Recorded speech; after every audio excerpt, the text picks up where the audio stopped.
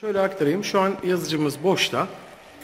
E, Repeater Host'tan bedi ısıt dediğimiz zaman bakın tek başına tablo ısınıyorken bir sıkıntımız yok.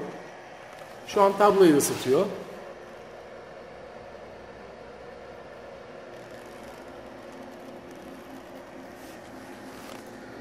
Tablo ısınırken aynı anda extruder'ı ısıtmak için extruder'ı da açtığımda şu an bakın extruder ısınmaya başladı.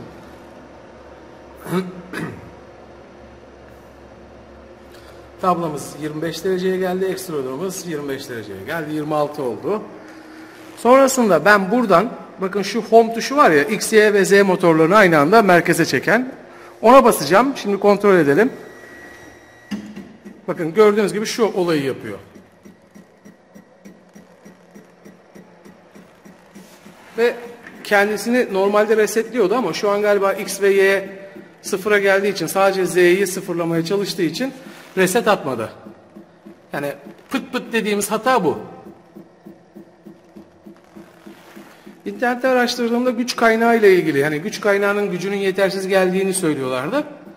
Tekrar sizden bilgi alacağım bu konuda. Bakın şu an 3'ü birden çalıştığında böyle.